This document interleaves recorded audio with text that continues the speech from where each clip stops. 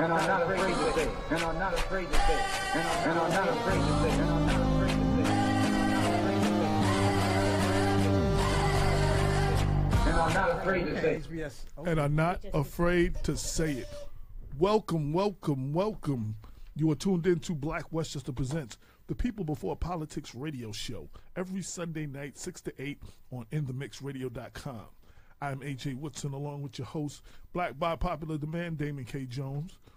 Then we have our co hosts, the lovely Lorraine Lopez, Hey, and Dr. Robert Baskerville, PhD. Come on, man, stop that. You know you're supposed to call me Brooklyn Bob and everything. Okay, from the. He's like, he's like, he's like that doctor title is BS. Brooklyn Bob. No doubt, no doubt, no doubt, no doubt. So we coming to we coming to the end of January, about to get into Black History Month. Um, couple of things happening in February. We got the Rapicon um, documentary screening has been moved from the high school to the oh that wasn't me. that wasn't me It okay was- it- it- okay because I'm This sitting here like this time it wasn't me. we got the Rapicon documentary screening, which was supposed to take place at the high school, will now take place at Mount Vernon High. I mean, uh, Mount Vernon Public Library on um, February Yeah, yeah, Saturday, I- you know what? February third. Huh? I was wondering about that, but Okay, okay. maybe it's none of my business. I think that um, the Facebook Live just kicked in because somebody just liked it. There you go. Yeah. Yes, yes. We are now. What's up? My cousin from Atlanta, David Moffitt. So what's up, cuz? What's good? What's good with you? Yeah, so we have the documentary. It's going to be two screenings: a twelve o'clock showing, a three o'clock showing, and after the three o'clock showing, um, Black Westchester will be hosting um, a panel discussion Q and A, um, which I will be moderating. And again, I spoke. Um, this is the documentary of the last Rapicon event that took place, which I was on one of the panels. And the panel I was on is going to be part of the documentary. So I guess there'll be a two second scene of me in there somewhere. So that's a cool thing. That's a cool thing. That's a very cool thing. Definitely. No doubt, no doubt, no doubt. So I'm looking forward to that.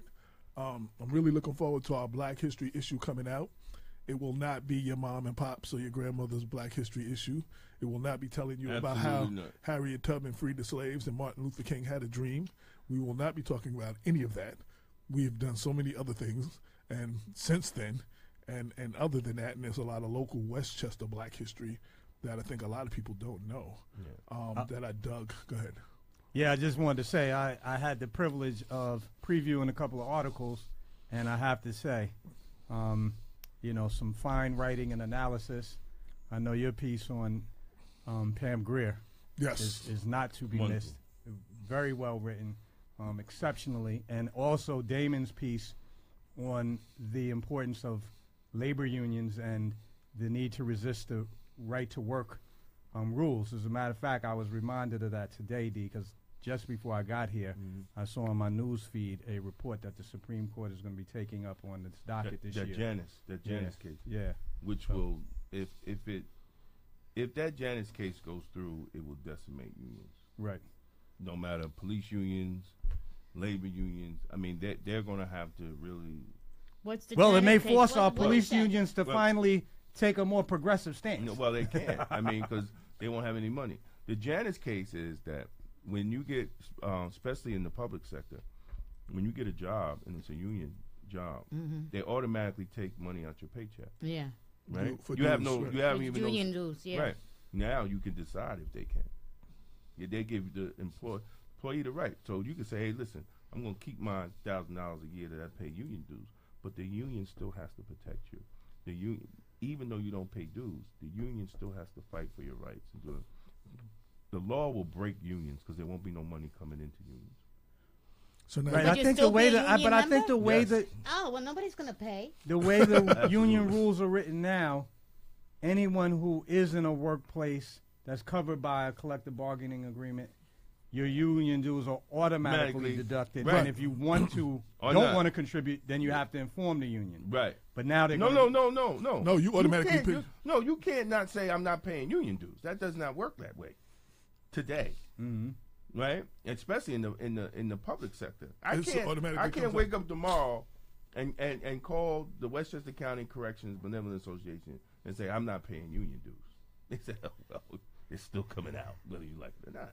There's nothing you can do about that. This Janus case right now is going to give myself and every other union member that's in the public sector the option to say, hey, listen, we don't, we, we don't, we don't want our union dues coming out anymore.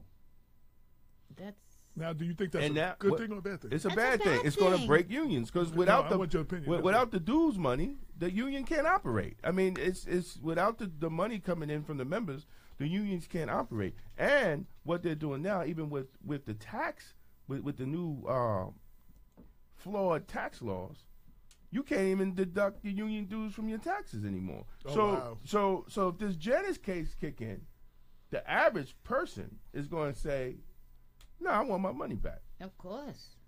so, so, so, and that's not just that's nationwide. It's going to be nationwide. Wow. because it's going to the Supreme Court's going to rule on it. There was a case before that, um, but it never got heard because the Scalia passed, and I don't know what happened in that case.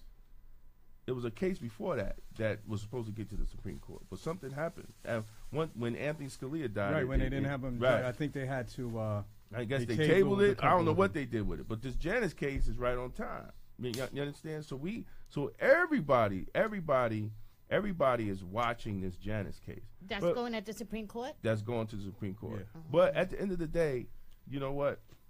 If it happens, I, I blame the unions.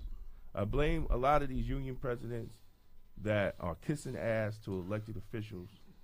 You know, I blame these union presidents that are not speaking out on, on, on labor issues and representing their members the way they're supposed to. You know, so now you have to figure out a way that you're going to keep your membership. You got to figure out a way that, that, that you're gonna you're gonna actually survive. You know, once this Janus case comes, because you're gonna have a lot of people, especially especially the people that's close to leaving, right? Especially the mm. people that's close to retiring. And what the fuck I'm gonna spend union dues for? I can retire next year. They don't even me. I might as well keep my union dues. You know, they ain't do nothing for me anyway.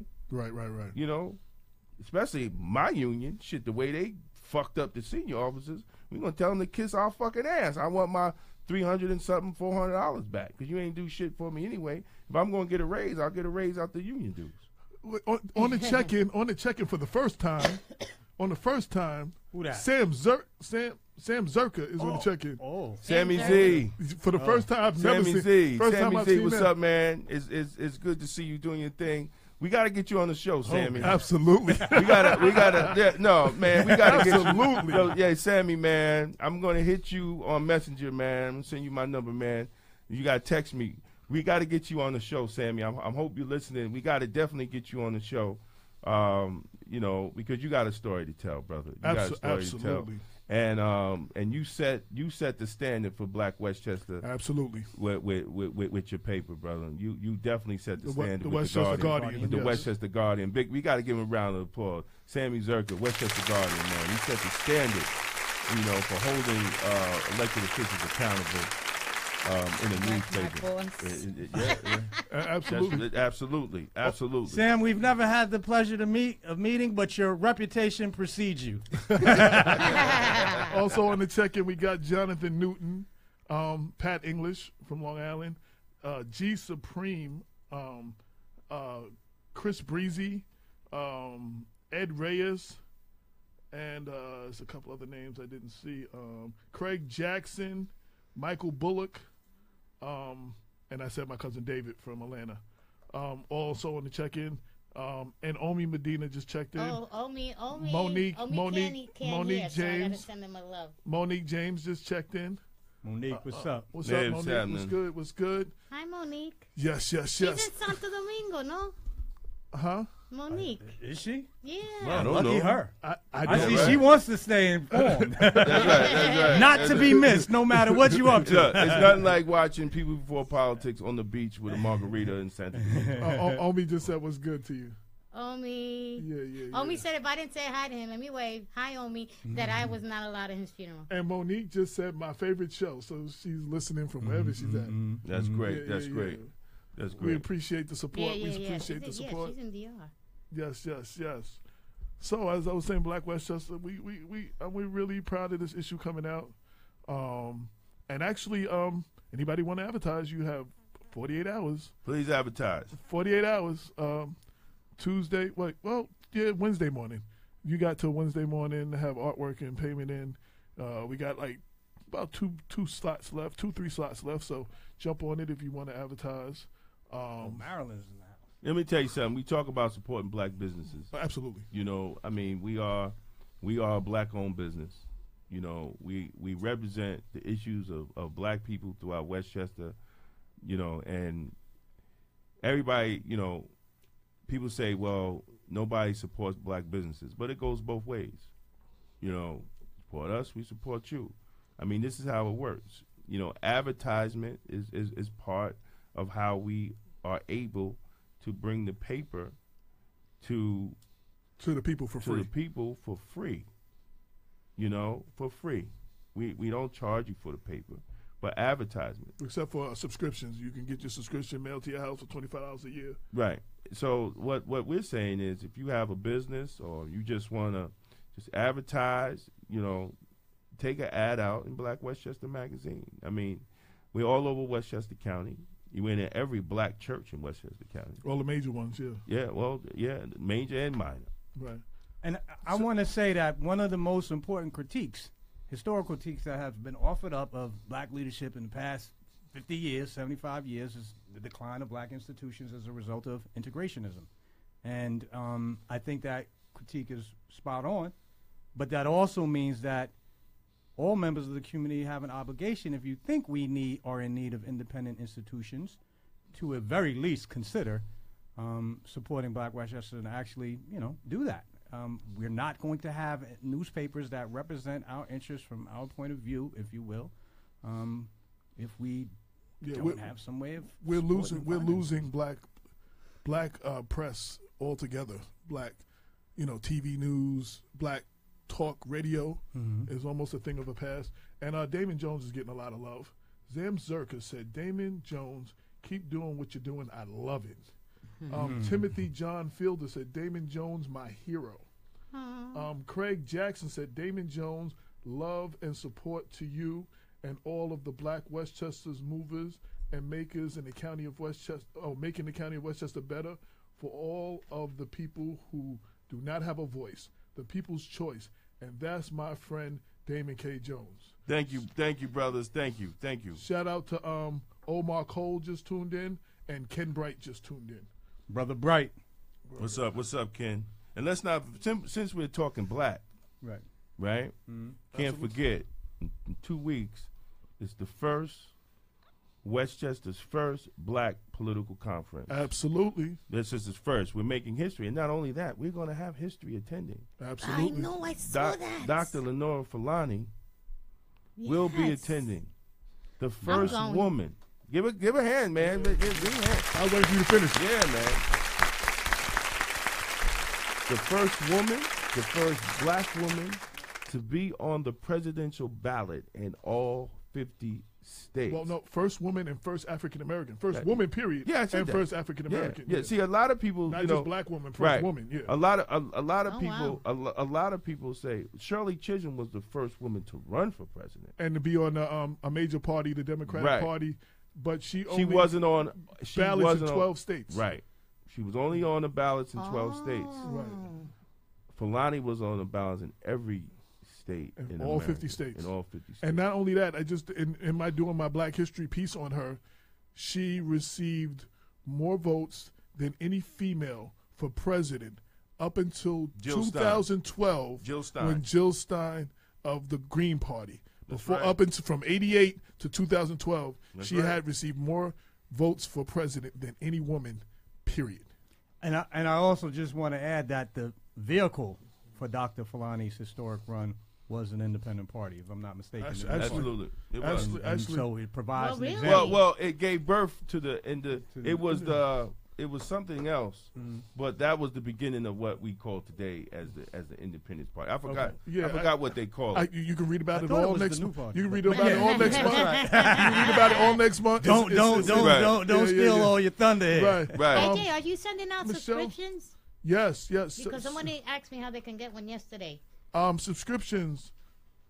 Uh, what's the e- um? How much in, in the email? It's please? twenty five dollars a year for twelve issues. Call 914-979-2093 or email blackwestchester at gmail.com. Um, I'll send you the link where you can pay. Give us your, your um, address and everything, and the first one, the first month will go out, and you will receive twelve, and it will be mailed to you, um, to your house or your business or wherever you want it mailed to. Uh, It was it was the um it was the New Alliance Party. New Alliance Party. But under Fulani, even recently Mm. with um, with Bloomberg, because of Fulani, Mhm. Bloomberg's last election, the most votes of color ever. See, people don't even talk about how many people with Fulani's lead put Bloomberg in office. Mm, Right. mhm. You know, so the black vote do matter, but we have to have we have to create a vehicle to make it matter. Absolutely. You know, and that's and, and that's what and that's what the Westchester Black Political Caucus is all about. Damon, we need brother, more brothers like you to help change the narrative. Hashtag Black Press, hashtag Black Media from Bobby Blue. Thank you, Bobby. Um, um, G Supreme said, "I like what y'all are doing. I'm promoting.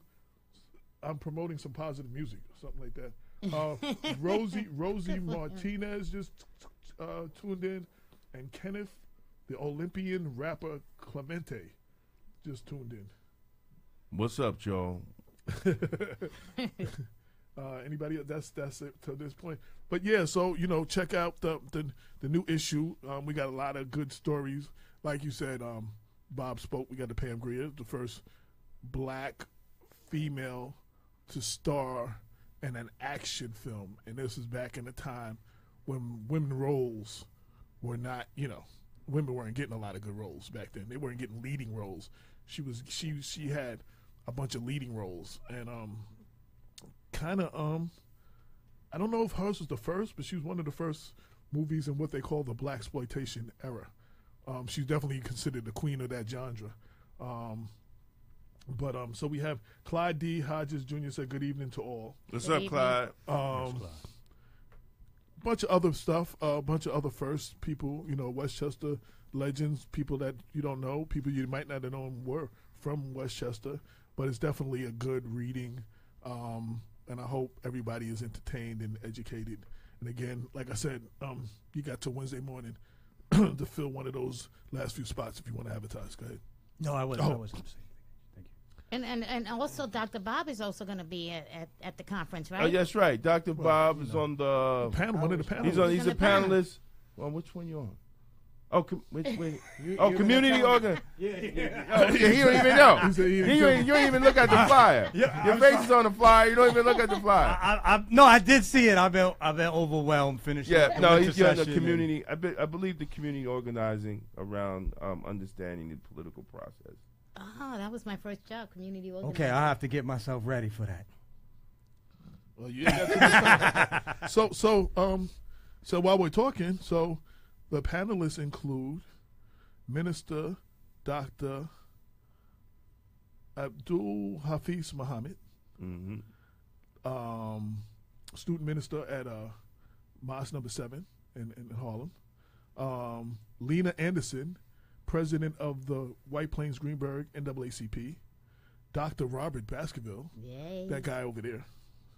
Um, Ja- how do you pronounce his name? Jumaane. Jumaane. Jumaane Williams. Um, New York City, City uh, councilman? councilman who will be running for deputy governor of, of New York State. all right, all right, all right. Okay. With Um, Mount No, you could run alone. oh, you really? Ma- Yeah, deputy. Yeah, deputy governor. Mount Vernon Councilman Andre Wallace, uh, Dr. David Holder, New Rochelle Councilman uh, Jared Rice, and Minister Jazz. These are some of the panelists. The, it takes place February 10th, 2018, the WESPAC office, 77 Tarrytown Road in White Plains. Um, and th- there's a Facebook page to register, right? There's a No, it, um, go to uh, Eventbrite and just do the search Westchester um, Black Political Caucus. Okay. There's there's one for regular RSVPs and there's one for students. Okay. And is there any fee of? Uh, it's twenty five dollars regular RSVP. Students are free. Okay, there you go. Now this is something. Eventbrite, yeah. This is something that What's the website? Eventbrite. Event The website is Eventbrite. Okay. Like, What's the website? What's the website? Eventbrite. what a, website? so so Eventbrite. I was trying you don't have to do. You don't go to the Westchester the, the, the address that's on the flyer. What's West- on the flyer? WestchesterBPC.org slash events. Yeah, you could go on there. It's going to send you to Eventbrite. Okay, well, But, yeah, you know, but, I'm just- for, people, for people that don't, you know, Just go to Eventbrite and can- put the search in Westchester Black Political Conference and it comes up. okay, I mean, we trying to make it simple. Put it where the goats can get it. no doubt, no doubt, no doubt. So this is definitely, I mean, you support black media, but this is the first of, and we need to all show out and show up.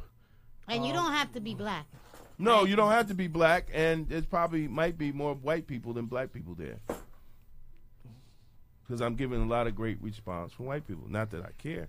You know, it is what it is. As long as people get the message that you know we need to change the community of color, but um, But those like of the o- color right the need own- to be there. Yeah, yeah. None of the black elected officials are RSVP, but Well, Legislator Parker did. And big shout out to Legislative Parker. They'll Right. show Oh, up. They okay. show up Right. though. Yeah, well, they probably show up, but at least she RSVP. At least she responded to the email. I give her credit for that. No doubt, no doubt, no doubt, Big shout out to Legislative Parker. no doubt. Kevin Bunch said, "Hey, Black Westchester, listening and supporting the cause. Keep up the great work." Tyrone Hayden um, uh, just tuned in. Um, who else? Who else? Who else? Who else? Everybody else. So, yo, um, we um, we're gonna have a um, we got some guests coming. Um, of our uh, one of our regulars, Tasha Young, will be here. And um, not too long ago, they had a, a, a protest and a press conference in front of Senator Klein's office um, with some of the Me Too organization. And Yeah, man, there's a there's a there's a deep fly going around. Let me see if I can find it. Keep Oh, going. and um, they're supposed to show up and they're going to explain the reason they had their press conference with that, you know, what, And they what were their, picketing out what, there. Yep. yeah, what their what the reason for why they why they taking the stance they taking and um, speak on some other issues that um, um, affect them. So they they're uh, they should be here within the within the next few minutes, and we're going to be talking about that. Um, Wait, let's post the flyer. We can Oh. post the flyer. Oh, I just sent it to you. okay. Um, Oh, now it says I can't send you. Okay, I was gonna say I on, didn't man? see it yet. yeah, What's so so um, we're probably gonna have a lot of discussion, and again, in the beginning, we're not gonna be taking any calls, but it'd be easy if you want if you have a comment or something, just leave it in the Facebook comment section, and I will definitely read it. If you have a question, I'll make sure your question get answered, because we're not. When we have shows like this, we, we get a lot of calls and we don't get a chance. You got two hours, you don't get a chance to actually talk to. And, and last week when we had the students here, Oh my God, the phone rang Um, off the hook. you know, you have four or five students here, and you had parents calling who six, and you had parents calling whose kids wasn't even here. Now you got to figure if I if I let 10, 12 parents talk for two minutes, you know what I'm saying? That's that's Right. twenty, thirty 20, 30 minutes that we we would have lost of the kids actually, you know, talking to them. So I I, I made a a unilateral um, executive decision not to do the calls. Um, some were upset with me, but um, you know, it was it was more important to hear the kids sing and and, and, and, and have the kids talk. And this is the flyer that they were talking about um, that's been going around. Um, strong message there. Uh, wow, I don't care about women's rights. Okay. Yeah, IDC. I don't. I don't care. care. I, IDC 2008, 2018. Hashtag I don't care. Wow. Um, yeah, we haven't had Jeff Klein on the show, have we? I don't think he was coming on after that flyer. yeah, I think yeah. that's not. I think that that just deaded it. Well, we invite the the the, the um, senator to come on, and if he wants to, you know, share his side of the story after this show, he's more than welcome to. Um, No, and not- we'll and- reach out to him. Yeah, we will definitely reach out to him. Yeah, I we, mean, we we will reach out to him on that You need to get Andrea back too. yeah, yeah, yeah. Oh, we're yes, gonna yes, we're yes. gonna um we're gonna do. Oh yeah, you yeah, gotta get her to come to the conference. yeah. I went to the um. Oh yeah, what you, yeah, hey, hey, next year where Oh, you been? oh I've man, seeing flyers listen, man. pictures all look, over the place. Look, man, been Saw around the some bow world. tie? Aye, yai, yai, Yeah. Let me tell you. Let me tell you. So you know, let me tell you. I go to um, the inauguration gala of George Latimer. Big Right. shout out to George Latimer. Big shout. Big out. shout out. Very nice. Very nice event, man. Very nice. Very nice. And um, it was great. You know, had had a great had had a great time. I, I had a great me me and Councilman Wallace. You know, we, we, we just had a great time, and um, George gave Councilman Wallace was so fly. Let me tell you how fly it was that County Exec George Latimer made him stand up again and let everybody look at his outfit. Aw. That's so cute. You know, tell, tell people this is what a A well well-dressed man, man looks look like. like. looks like mm. You know, this is this is how you this is how you rep, this is how you represent, and that, and that was great. That's Then nice. um, last night, um, hanging out with Councilman Wallace again, we go down to the uh, NYPAN, NYPAN, the New York uh, State um, Progressive Action Committee fundraiser, and Nina Turner was was um, Nina Turner was the keynote speaker. Um, yeah, there it is. There it is. I, look, Oh wow! Okay. I, I'm not. I just was watching Yeah. Nina Let me this, tell you something. I- this that- afternoon. That was one of my that was one of my bucket lists. Mhm. You know, to, get, to to get get, a a, picture? picture with the legendary Nina Turner. So so that that's that's I marked that off. Marked got got that done. You know, got that done. But you know, as always, those who know um, Nina Turner. Oh, that's me and Councilman Wild. yes. yes. That's me and Councilman. I, I saw your influence rubbing Yeah, off on but Yeah. you. your outfit and- with is dope. And the bow tie was velvet. That's that's nice. But you know what? But before, but, but before, I mean, he, before- he, he's, he before, before you go further, I, yo, Damon was used to be the only one out there in bow ties. Now I'm starting to see because of Damon a resurgence of bow ties, and not even that, a resurgence of Michael Lamont bow ties. Well, Michael there's Lamont- never there's never been a uh, there's never been a drop off in Michael Lamont. But I'm saying we starting to see more everywhere. You ain't the only one wearing Well, no well, yeah. I mean, there's a lot of people that wear Michael Lamont joints. You know, I I ran it, and you know what's crazy? It, what what what was crazy about that? You know, we the me and the brother, because I've been to other events. You know, when we when we spoke at the church that time. You know, and, and the ba- and the guy that was ba- was the basketball player. Um, He had a um, Michael Right, Lamont. right, right, Right, right. he had right, right. Michael Lamont tie. Tiny Archibald. Yeah, yeah. No, yeah. it wasn't Tiny. It was the other one. There was two that was on the panel. Okay, I don't remember what The the one that was in the suit Well, the that second that, one. that still worked for the NBA. Oh, There was okay. Tiny Archibald, then it was another. There was another speaker. Well, uh, But anyway. and, and and and actually there was three. Lowe's Moore was there too. So there Oh was, yeah, Los, yeah, yeah. Let's no, was that was, that was the on the first one or the second one? We did two there, right? Oh, but he was on this. No, I don't Oh, because Los- I moderated the second one. The, the first one, right, I was on the panel. The right. one, I the one that we was on the panel. Okay. it was a brother there. He had the Michael Lamont on. Um, but what was key with with that, you know, you run into people. Michael Lamont's ties are are are very unique. So you know, you know, is a Michael Lamont tie. So you say, hey man, Michael Lamont. He'd like, yeah, it's like a family. you know, Michael Lamont's like a family because that that's the way, you know. That's the way it is. It's just like a family. With, with people that constantly buy Michael Lamont's, it's, it's like you you're you're you're in a family, you know. And uh, once a year, he has an event where everybody from across the nation comes. He has a black tie event, and everybody from all his customers from around the nation come, and we have a great we have a great night. So all black tie, man. All everybody's classied up, and everybody got Michael Lamont ties on Nice. and he and he hosts the event. It's, it's very good. Anyway, so this brother here, what was you really unique about the brother? Talking to the brother, then he says, "Man, you look familiar. You look so familiar." So I'm hey man, you know, I'm it's been in it, right? No, Clive no, D. Hodges said, "Listen, Damon turned me on to it. The bow tie look is classy. It is classy. Shout you out know, to Uncle Frank, Max Maxwell, Glenn Butler, Frank. Stephanie Benton, Nicole Ann Tarkenton said, "My God, Damon." Nadine Hunt Robinson said, "Greetings from White Plains." And Na- Greetings. Nadine, you are in our Black History issue. the first black um, African American to be on the um, White Plains Common Council.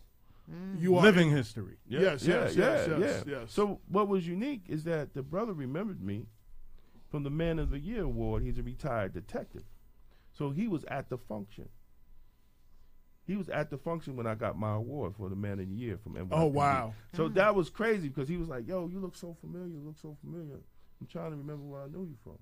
And that by the end of the thing, he's like, "You was Man of the Year, right?" and, I was, and I was like, "Yeah." He said, "I was at the event." Uh, we start talking again. So you know, it's, it's good. You know, it's, it's really it's really good. And, and, and the ties are so nice that they're always a, a conversation breaker. It's a conversational piece.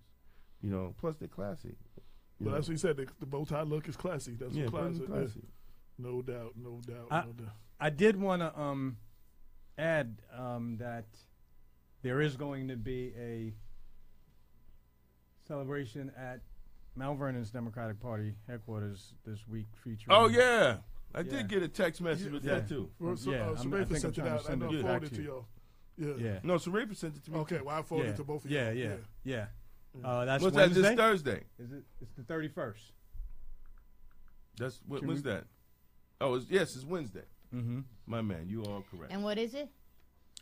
It's a thank you reception that's being hosted by the Mount Vernon Democratic Party, um, and it's going to feature um, our newly elected county executive, uh, George Latimer, Mhm. to express his thanks and gratitude for all the support that he got from, you know, folks in Mount Vernon. Um, undoubtedly, you know, everyone um, gets some of the credit, but Mount Vernon voters get their share as well. Absolutely. I think it's important that he does come by and make an appearance. Um, so, you know, it's the time It's, it's, it's- everyone take a victory lap. they will actually be celebrating um, all of the 2017 election winners.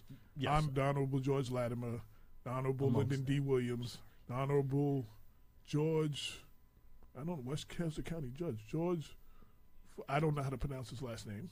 He's the Westchester County Judge. Honorable Arlene Gordon Oliver, Honorable um, Deborah Reynolds, Honorable Janice Duarte, Honorable Delia Farquharson, and Marcus Griffin.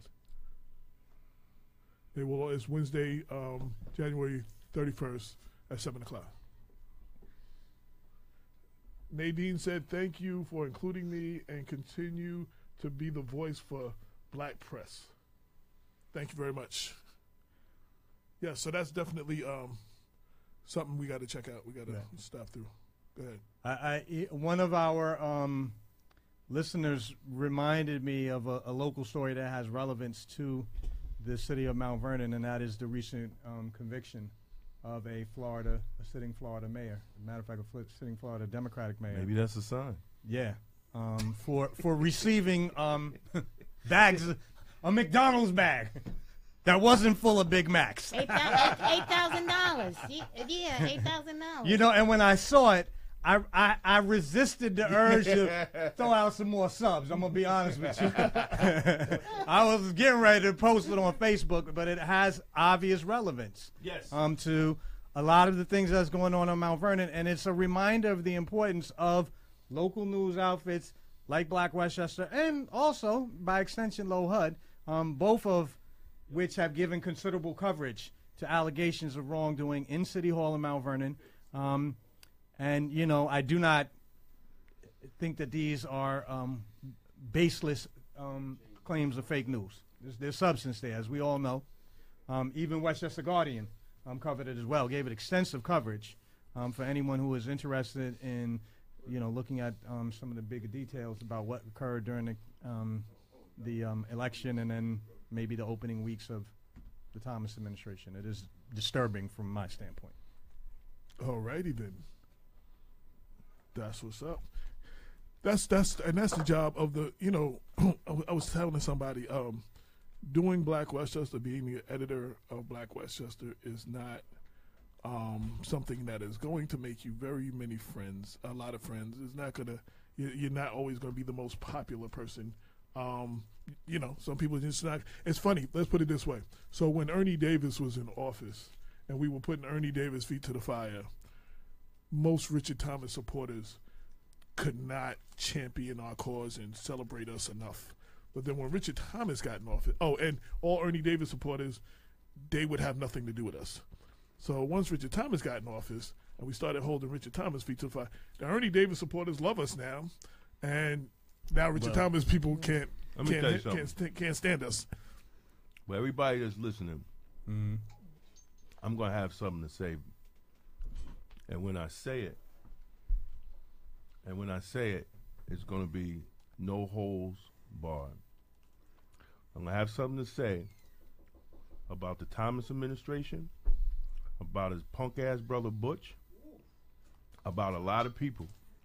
And when I say it, it's gonna be no holds barred. Ain't gonna say it now. Well, I was just gonna say, when you gonna say it? I'm not going to say it now. I'm not going to because there's always a time. It's al- it's Oh, al- there's a time and a place for It's everything. always a time and a place to say everything. His punk ass brother Butch, no, already know. You know, he already know. I ain't got to say no more. He he already know.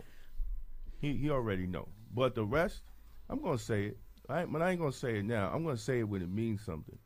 Right now, it's just gibberish and it be forgotten. You know, you got to say it in the right time where where where it affects the right things. Right now, it ain't even worth it. It's not. It's, it's it's not even worth it.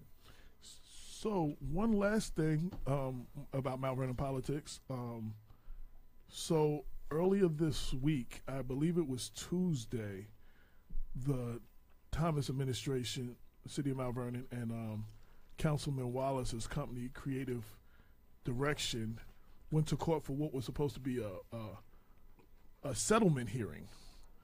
So there was a three hundred and twenty thousand dollar judgment against the city and I guess the judge, um, you know, gave him a little discount, said make it two seventy five, and um, the lawyers for the city for the Thomas administration said okay, but we want Councilman Andre Wallace to pay us one hundred and eighty three thousand for damages, to which the judge found a little hysterical, and um, said, hold up, you got a judgment for three twenty against you and you want that person to pay you 183 okay i see this is not going nowhere. Court date april 16th so now on april 16th um, at, um, at 9.30 um, they will actually for the first time this full case will actually come to court and why that's important is um, Everybody gets subpoenaed.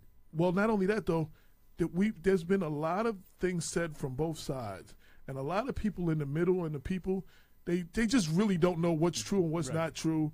Um, if you say anything against the administration, it's supposed to be fake news. The administration has for a year and a half told you Andre Wallace didn't pay prevailing wages, and the Department of Labor said found no wrongdoing in that. So it's just been this is the first opportunity where subpoenas will go out to everybody involved. And um, thank you. Subpoenas will go out to everybody involved, and um, the whole truth can actually come out because a lot of the propaganda that's been going out, no matter what side you believe, you try that on court in court, that's perjury and that's a crime. So the truth might actually come out, and I understand subpoenas are going out or have gone out to several members of the Thomas administration, including the mayor himself, Mayor Richard Thomas, the honorary police commissioner Joe Spezio, the corporation counsel He's Lawrence not honorary. Stop. Okay, I'm well, not police, no, no, deputy. no, no, no, no, no. The Let's- dishonorable? no, No, police no. police commissioner. No, he's police- deputy. Deputy he police is, commissioner. He is sworn in as deputy police as commissioner. deputy police commissioner. Okay, let me give not him his right hon- to- Not honorary. Okay. And and when we discuss that, and and like this is not the time and place, but I'm going to say it. When we discuss that, that brings him to a whole different level of the law. And I hope he understands that, and I hope everybody that's been taking orders, y'all know who I'm talking about, that's been taking orders from him, understand what's going down. See, everybody think this shit is a game.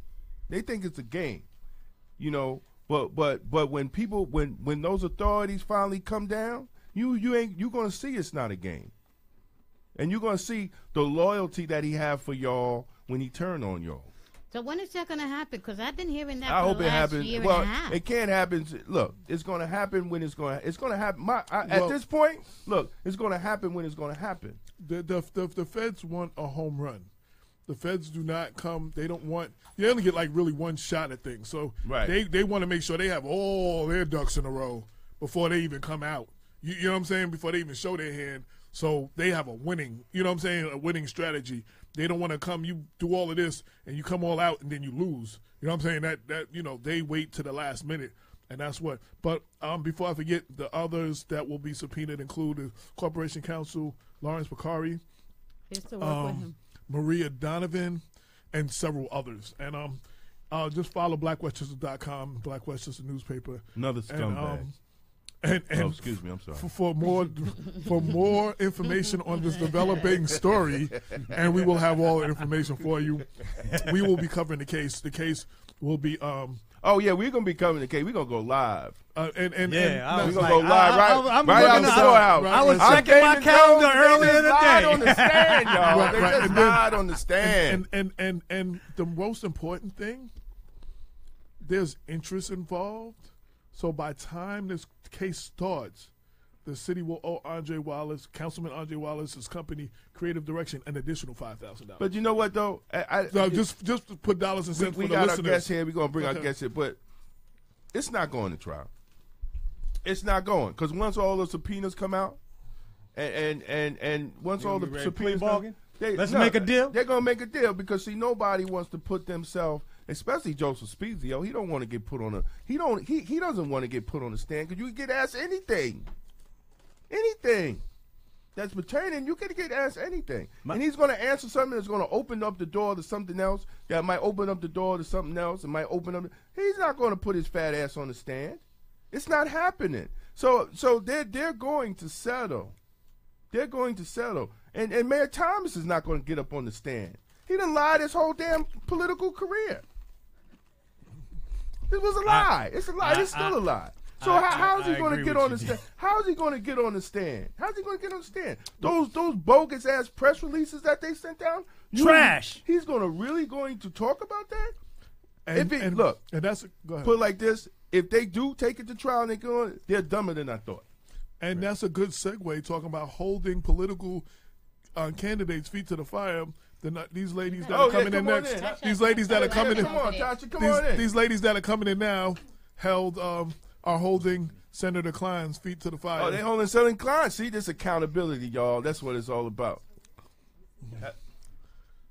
Look at how lovely Sasha looks. Absolutely. Oh, Yeah, they out Look there. She got, know, she got her. Sunday. Let- let- she got her me tell you Sunday church lady hat on. Let me tell you something. When women out there fighting the power, man, they they they just get dressed up. Well, They get dressed up and they do the thing. she got her. want to fight along with him? She got. She got. She got her Sunday church hat That- on. that's it, you know, that's it. Her first lady hat. You got. You did the wave like that. Yeah.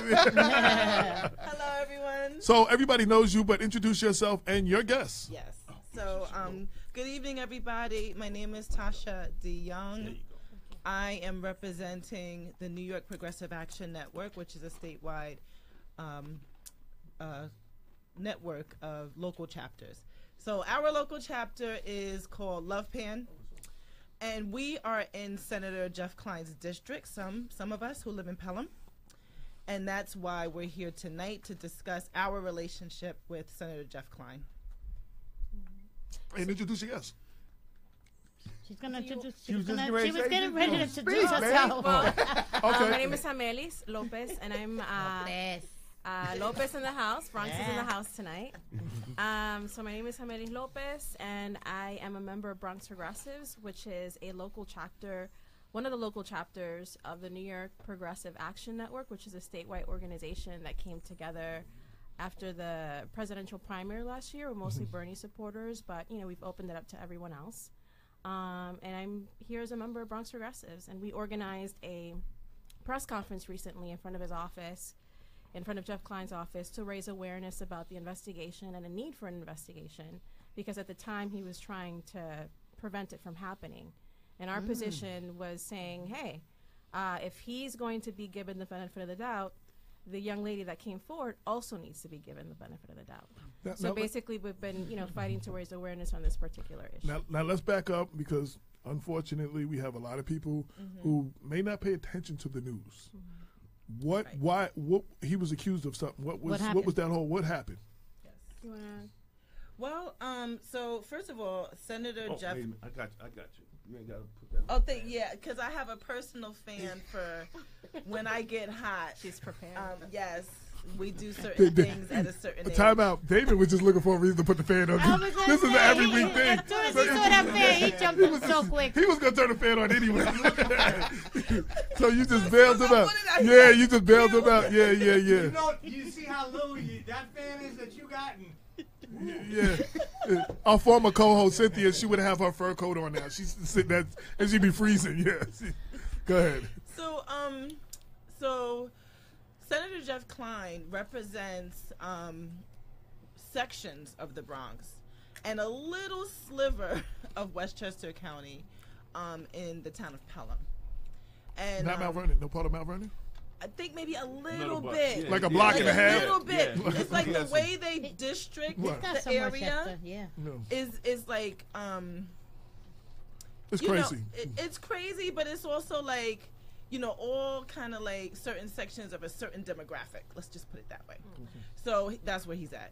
Um, and um, he is the a, he's he has done a power grab for leadership within the New York State Senate by um, starting a Democratic faction um, called the Independent Democratic Caucus.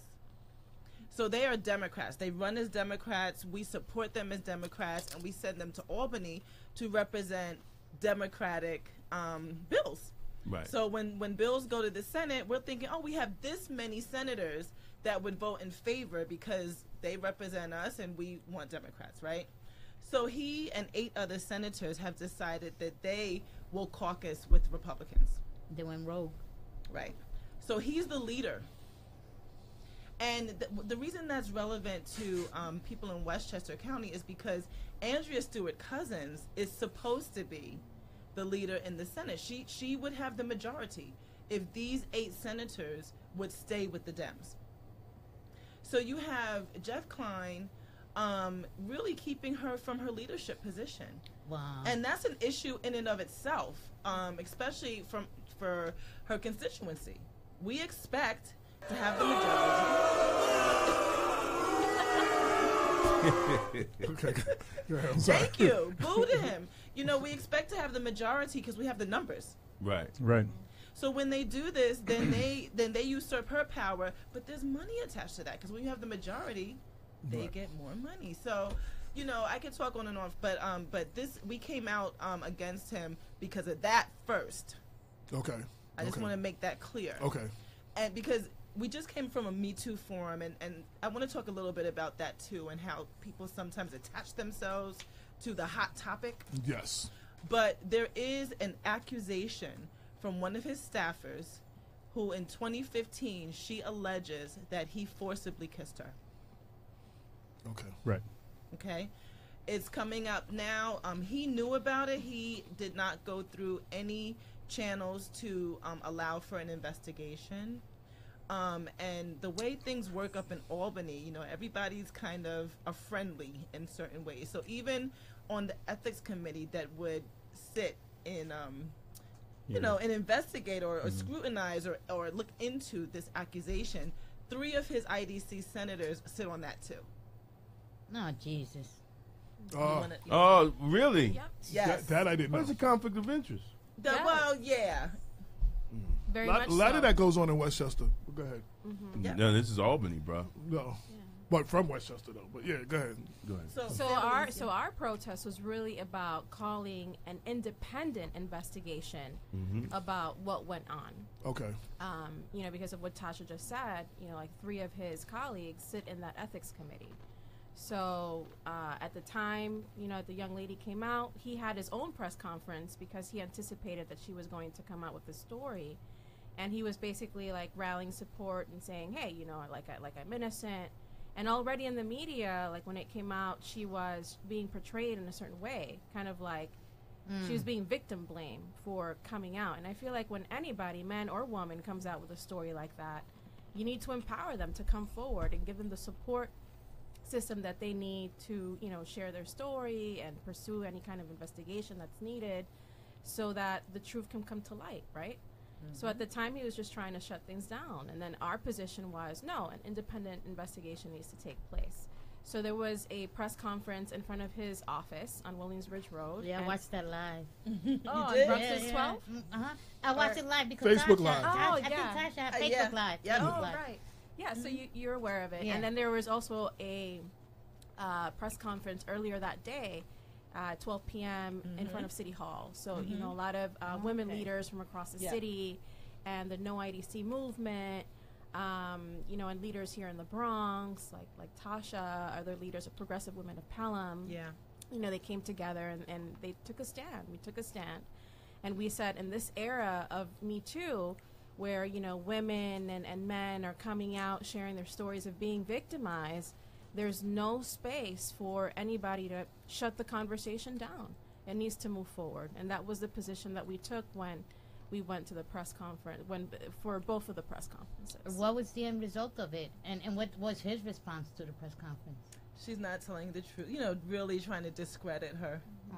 Really, and he's, you know, he's he's you know he's a pretty powerful person. Um, and um, But so was Nick Spano. He used to be. So See what is uh, you know um, Al Franken. There you go. you know, and and there was even you know calls to ask Senator Gillibrand to ask him to step down. Um, and I think you know we haven't had Ask who to step down. Jeff Klein. When? There was like a grassroots call and calls into her office. Oh, call to her office. Yeah. Oh, she didn't do it. No, she did not. Oh, no, yeah, I, wanna, I didn't think don't wanna, I want to go on record saying that No, we are, that there was a grassroots request for her to do that because she did it to Frank, Right. and she can do it. No, she and can did do it. she? Did she? Is she gonna? No, no response as yet.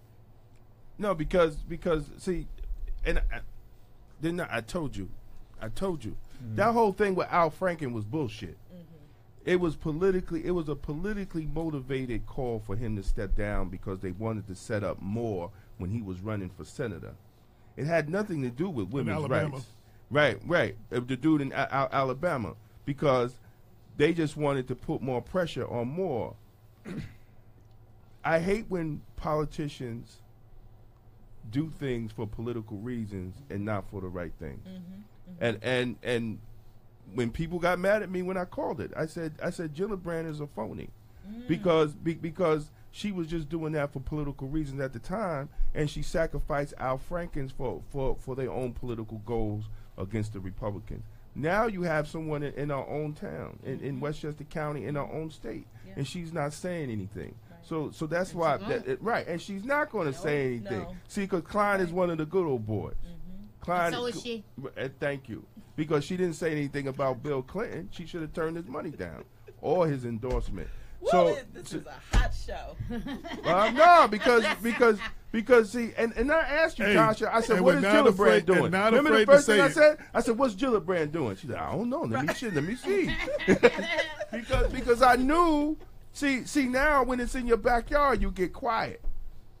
You know, you get quiet. She should be out front telling Klein telling Klein to step down and she really about about it. So so now you see that she, you know, we gonna see. Yeah. You know, we gonna see if the if the movement is for well, a lot of these women politicians, if this movement is for political reasons or they really believe in what they say. Mm-hmm. You know, and people we can't, you know, we can't get fooled by false slogans. It means a lot. It But we can't allow the And- and politicians pink hats. to use it for their own political reasons. And you out there sacrificing, Right. other women are out there sacrificing, Right. and they get lost in the shuffle. Black people, we we've been doing. See, we we get that all the time. I see it all the time in the black community. Yep. You run and vote for a great slogan. Mm-hmm. You turn around, you don't get a damn thing for it. Yeah.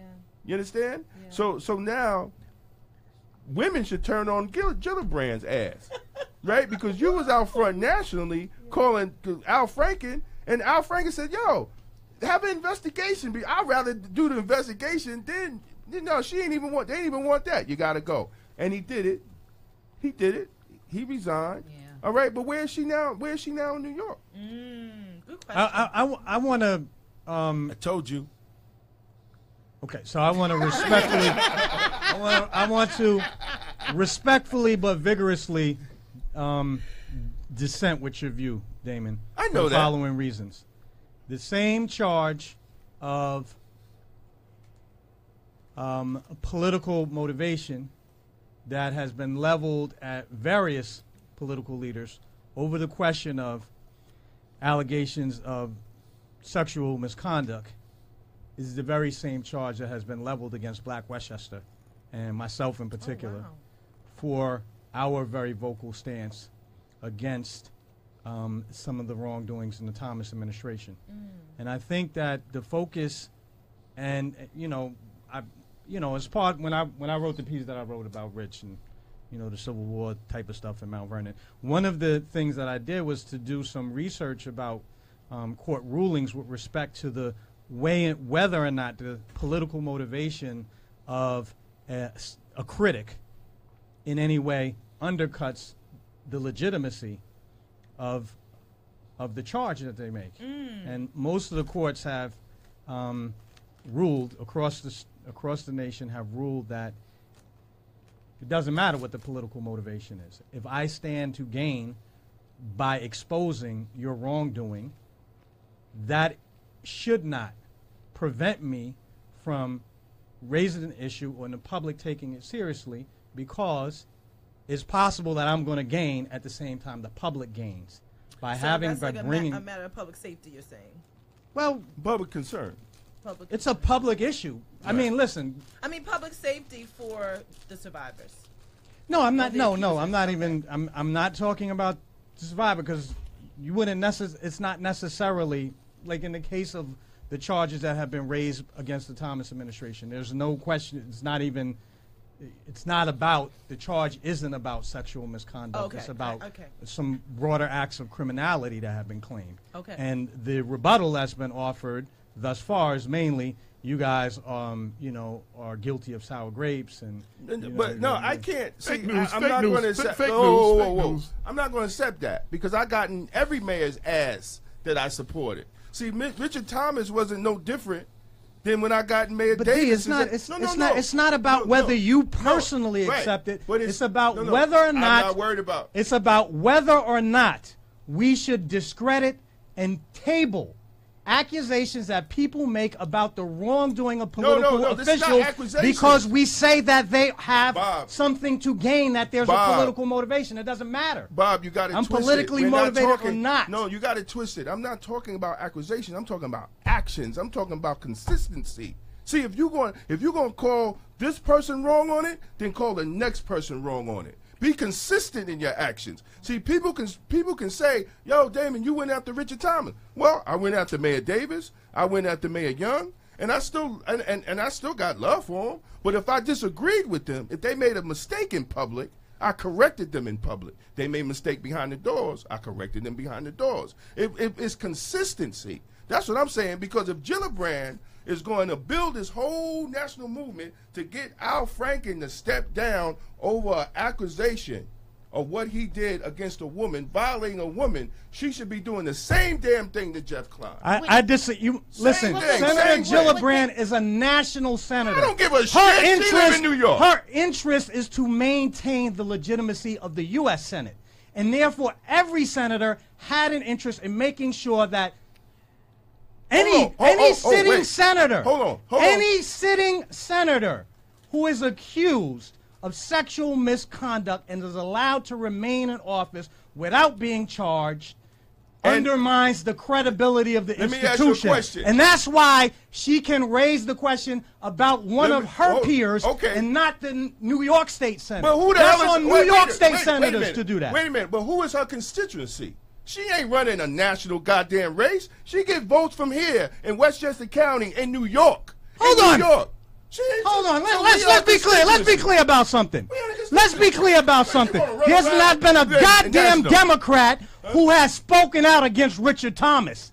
They're all hypocrites. Oh, not without do. I need to name any names? No, no. Look, We look. can start from the bottom to the top. Dude, Every wait a minute, single wait a one of minute. them have remained silent. minute.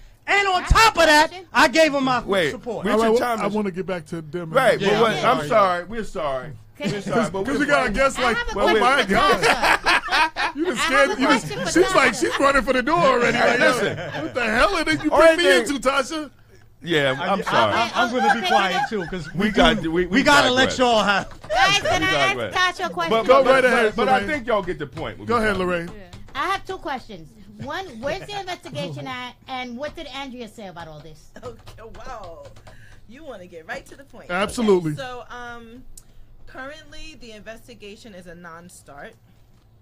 We are trying to put pressure on at the grassroots level, and there are several grassroots organizations that are asking for an investigation. Actually, St- Senator Stewart Cousins prese- presented comprehensive sexual harassment reform in the Senate, and it can't get passed, surprisingly. Yeah, but what you got to say about Klein? Well, um, not much I haven't heard anything publicly. about this, but a lot about the IDC. Mm-hmm.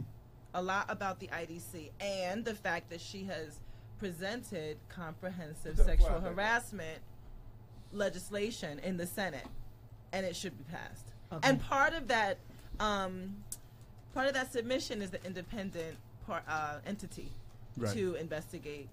Um, Okay. I think that flyer should go viral. Yeah. Oh, yeah. That's, Everyone that's share a the flyer, one. please. That that flyer should go viral. Yeah. Because if the IDC is, is, is protecting a member, then that should go viral. Then they don't really care. The IDC Right. should should have the integrity to say Right. to have an investigation for Right. one of their members. Yeah, we and should hear recluse more themselves. about it. What does the We- we should be IDC talking stand for about- again? Independent Democratic Conference. Okay. I Right. don't care. I don't I- care. I- about women's rights. That's what I that's, don't care. that's what I- I kept saying. It's, I don't care, right? I don't Yeah. care. That's what Yeah. it, that's what it still should stand for. is Yeah. I don't I don't care I about think women's you're rights. right, Damon. Well, like to your point, AJ, we haven't heard that you know that much. It would be nice if we can hear a united front on due process. Well, we just want due process. All right, for people that's listening, right, that may be concerned, that may want to get involved, Mm-hmm. what can the listeners do to assist you in achieving this goal? um, there's a few things you want to start. Yeah, I mean, I would say, um, you know, getting in contact with us or, or, or reaching out to, you know, the senator um, and saying, hey, you know, like what's going on with the investigation? I'm interested in learning more about it. We need to make a push for this to, uh, you know, you know, happen because again, if you're getting the benefit of the doubt, like you know, Erica also needs the benefit of the doubt too. That's the young lady that came Right. That's the forward, accuser. Erica uh, Vladimer, who uh, was a former staffer. Where she she lives in where she live? She's probably in close proximity to the district. She got a lawyer. I think she. I think Can you she- find out the has lawyer's name? Representation. Yeah, I can do that and get that back to the show. Yeah, she. I could- can- we have the lawyer come on the show. Wonderful. That would be great. Yeah, No, because somebody gonna have to talk. Right. Yeah, I would say generally just get That would be involved in the great. conversation Mm-hmm. um, and make your voice be heard. Because again, I was not present when the incident supposedly occurred, right? Right. None of us. Were. So I cannot speak to what happened on that night. What? So I don't know if he's guilty. I, I mean, I, I don't know. All I know is that investigation has to move forward, and that's what we're advocating for. So I think it's really important that at the grassroots level, you know, women and, and men that really care about issues of gender equality and getting to the bottom of sexual misconduct and you know really um, empowering our institutions at the governmental level to address these issues you know legislation like Andrea Stewart-Cousins has done i think that they should get involved in this conversation and help push it forward because what we're seeing now uh, nationally there's a crisis going on nationally and we're living in a very dangerous political climate and it's really the grassroots that are leading Yeah. the conversation Absolutely. Yeah. in in government right now and throughout the country. So I mean, we need to rely on the community. So you know, so the community needs to come forward and uh, help us with this effort. There's a. I'm sorry. I just wanted to tell, say to listeners who are interested in getting more details that the Huffington Post did a very extensive article Yeah. on it a couple of weeks back, which Mhm.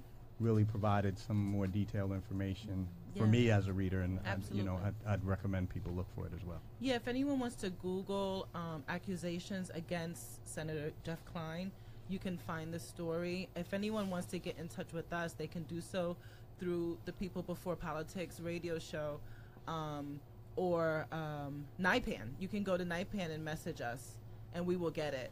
Is Um, there is there a petition started? There's not a petition, no. It's, But that it- sounds like a good idea. it can- Absolutely. Online Yeah. petition. Yep. And Online to- petition. And to both of your points about the grassroots, Damon has really helped me further understand that we have given our power away.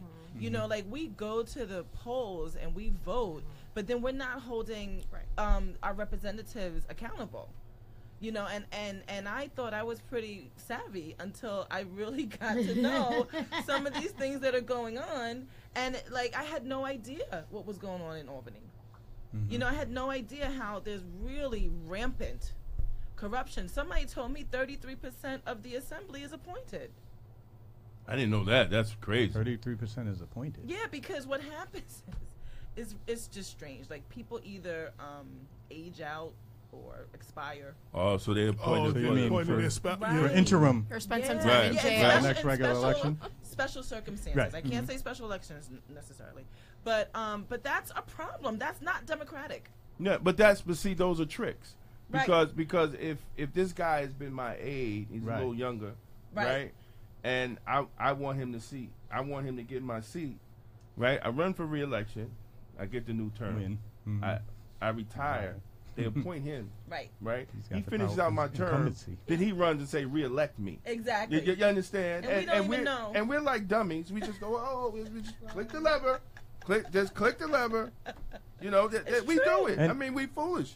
We don't even research. We don't look. We at Mount Mount Vernon love her to death. I love Mm-hmm. Deborah, Deborah Reynolds to death, but I never saw anyone that didn't go to a debate, A public speaking appearance. didn't make one public speaking appearance, right? And because she had the Democratic line, win. It, it's, it's nothing wrong with her, right. right? She It's did what not she was supposed. it's not right, she did what she was supposed to do Right. to keep the position. Right. There's something wrong with the people. It's us. Mm-hmm. You know, it's something wrong with the people. And that's, again, I love her to death. But when people just give their vote freely to other people, and and, and they don't even debate, and they Yeah. don't look at Cuomo. He was he, he ran from um, Astorino and and what what's the other the the other lady with the, the prim the primary the tall what, what's her name? And for governor? Yeah, that that primaried him for governor. Uh, is that Zephyr Teachout? Right. I don't even Oh, think he speak up. debated her. He didn't even you know he didn't even I don't And even she think was he, our she was our girl. She was the progressive girl. Right. Absolutely. I don't even think he debated her. But but see, She that's what they do.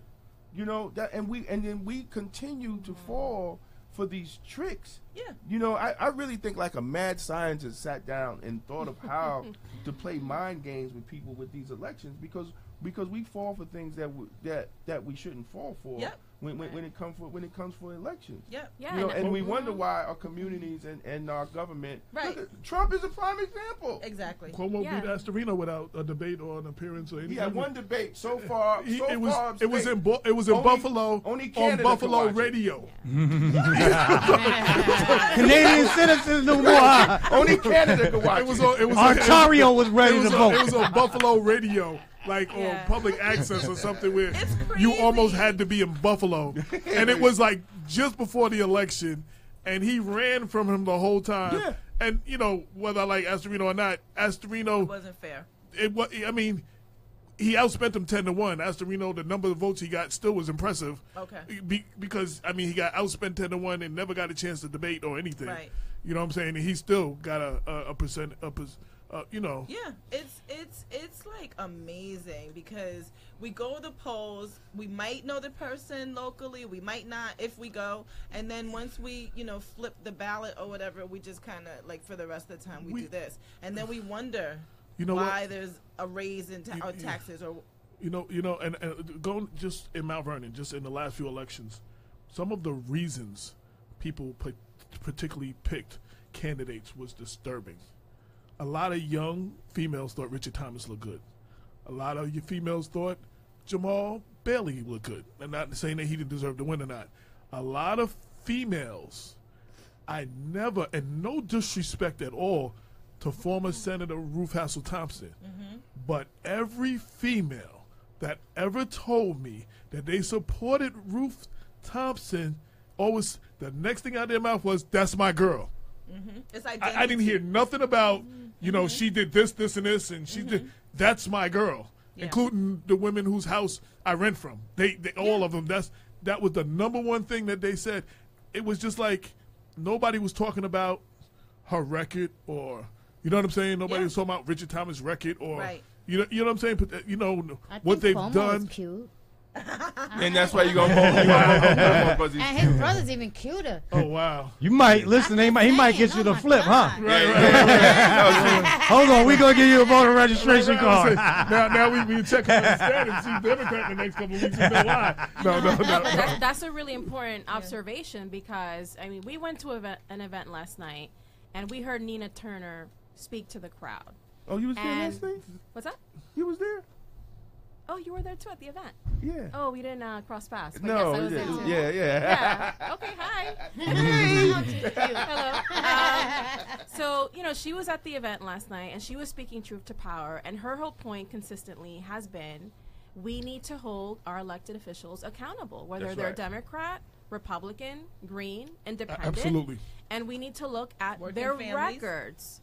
We need to look at their legislative records and analyze that and determine if that is working for the best interest of our communities. Absolutely. And base our vote on that. And she's very consistent in saying that uh, just because you're running on a Democratic ticket, you still, as a candidate, have to go out into your community and earn your community's vote. Absolutely. And this is what this conversation is about. It's about earning people's confidence, you know, their vote and their support. You can't just take voters for granted anymore, not in this day and age, because that's why we lost the presidency, um, you know, last year. Uh, or 2016, because you know the the Democratic candidate Hillary Clinton, she was taking certain votes of the population for granted. So we can't do that Yes, anymore. We was, cannot afford in this day and age to you know take voters for granted anymore. We And- have to earn every vote. I just want to speak to women of color. I want to speak to black women and all women of color for a second. And y'all are going to have to just bear with me because this, I am so passionate about this. We vote against our own interest repeatedly. That's black people. Period. But go ahead. But but but in, but I'm speaking to Spanish too. our sisters, okay? When you are considering the plight of a city like Mount Vernon, and you're gonna vote based on looks, or that's my girl, and not know the issues, those days are over. If we don't start looking at policy and law and issues and how they affect us and our communities and our futures, we will not we the income disparity in Westchester County and the nation is the biggest it's ever been. That's mm-hmm. right. That's right. We are not getting ahead. It's it's not your imagination that you're working so much and getting so little. That is real. And to continue to go in this way like any old blue, if they on the Democratic ticket, they must be good. Those days are over. Vote row A all the way. Row A all the way, all of that stuff, identity politics because I know your brother or your, your or your, you know your sister or we went to the club or no, no. Those days are over. And one thing that I do, I have criticism of the pro- progressive movement. But one thing that I do like about the progressive movement is they're not afraid to say enough at the ballot and looking for candidates that aren't afraid to pick a side. So, like I said, I have my criticism, but we have to start looking at who we're voting for. And not only that, but holding them accountable to what our needs are. We need economic development. When we send people to Albany and to Washington, we want money back. We want jobs. That's right. We want safety. We want people of color in leadership. We are working hard. I did get out the vote. I did that. I knocked on doors. Some doors got slammed in my face. You know the whole nine. I did the phone banking, and I put somebody in office, and I'll continue to do it. But I want to see some people of color in your team, mm-hmm. in leadership. And When those contracts- specifically. Women, when those contracts come out, they need to be some people of color getting them contracts. That's right.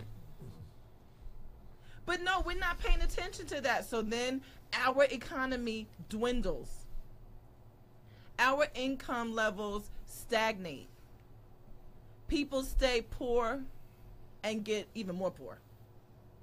The, and then there's the working poor. I can't even say there's really a middle class. It's like kind of like a working poor class. Mm. Because even if you're making a hundred thousand and your bill's a hundred thirty thousand, You're poor. You're broke.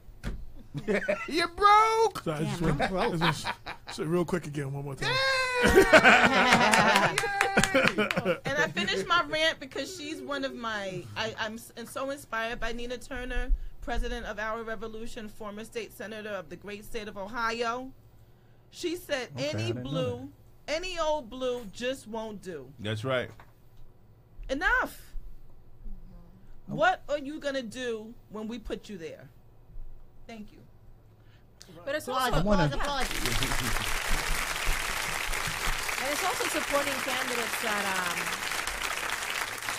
show up for the community before they decide to run, right? Uh, And, well, go, and go to the local meetings and figure out what the issues are on the ground, what people are passionate about, what they're struggling with, right? Absolutely. Well, no, Uh, absolutely. That's absolutely. important because sometimes you know, like people just start running for office without having those grassroots connection on the ground before they decide So to run, important.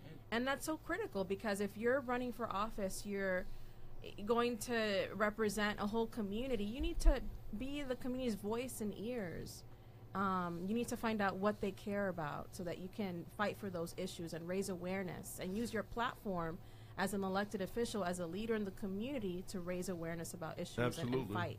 Yep, that's what Absolutely. that, that's what I did. I was a uh-huh. community organizer before I ran, and that's one of the reasons I I, I, I won mm-hmm. was because I knew knew every you. yeah, and I knew all the issues. Right. And we have to, black people, just because someone shows up at your church.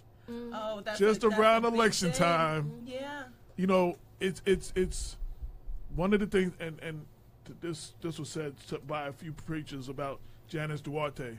What they liked about her, even when she wasn't running, she's you know for those two years she still came by some of those churches and worshiped with the people. And both, um, I heard both um, Mount Calvary and Centennial pastors both say, I can't tell you who to vote for, but you look around to those people who can to worship with you when they're not running, Yes, and then they're out there. You know what I'm saying? Not just show up.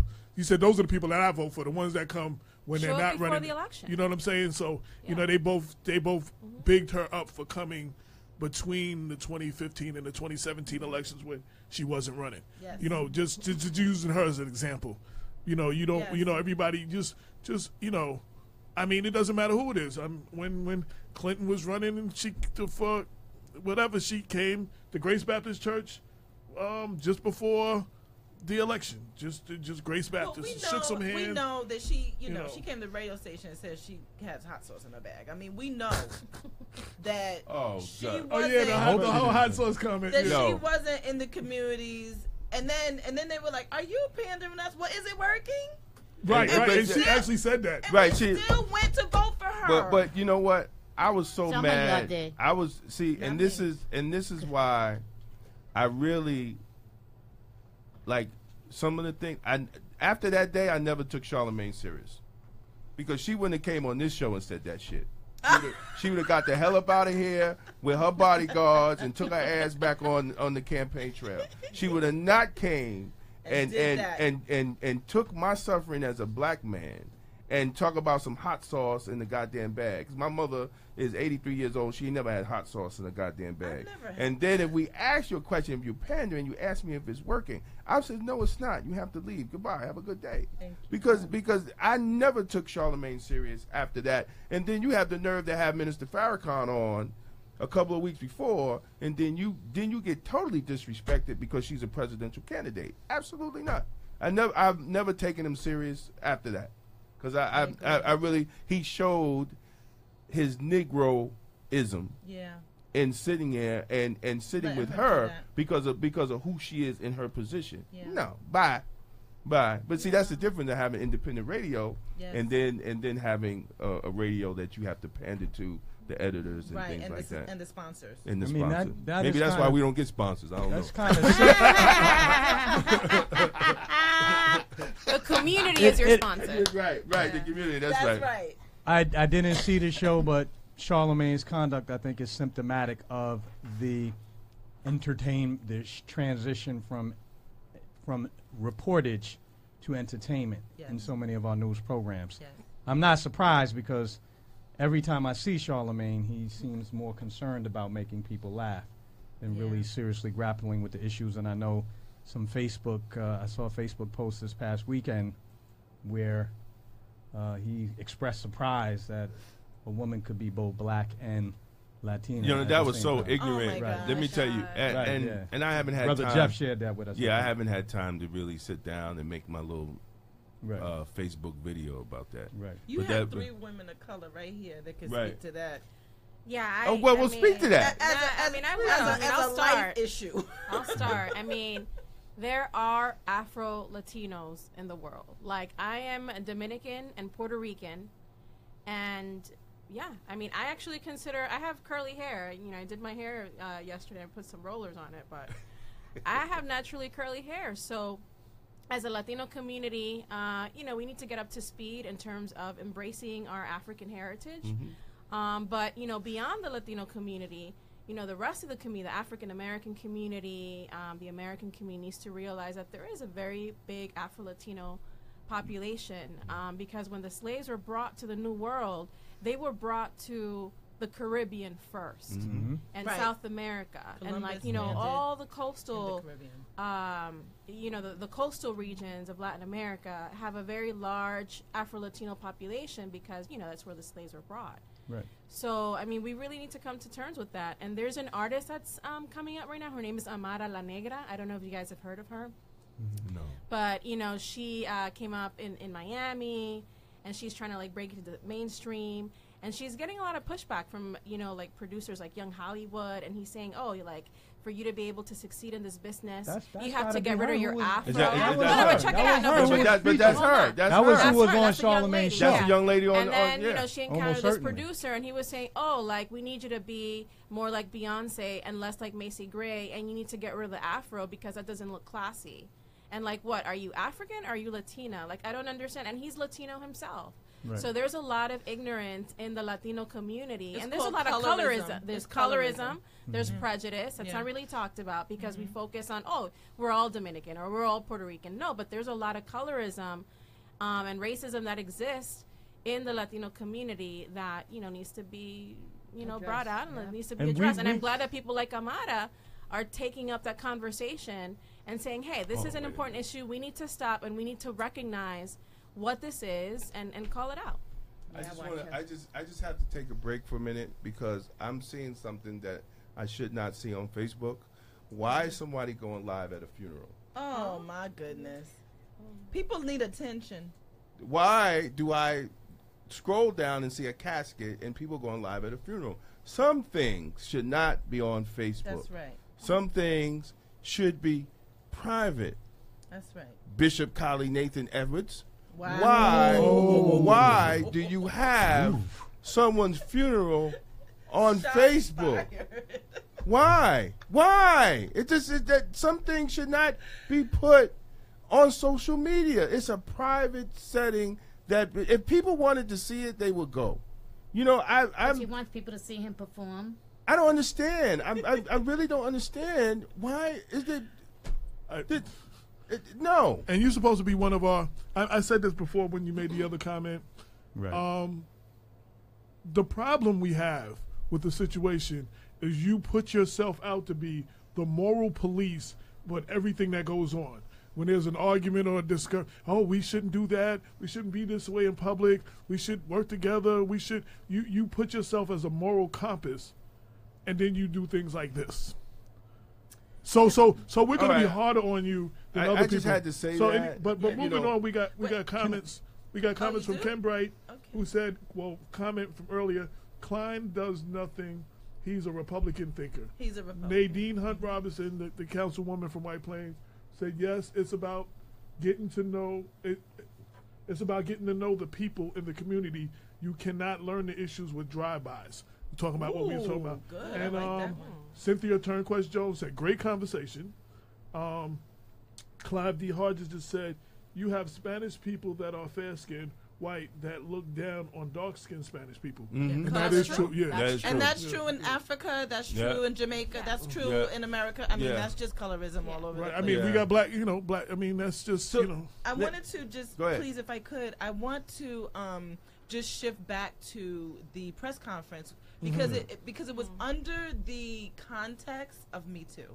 Right. So I just want to talk a little bit about the Me Too movement, um, the intersectionality that happens with women of color and the Me Too movement, and white women and the Me Too movement. That's a Um, good question. Is there is there?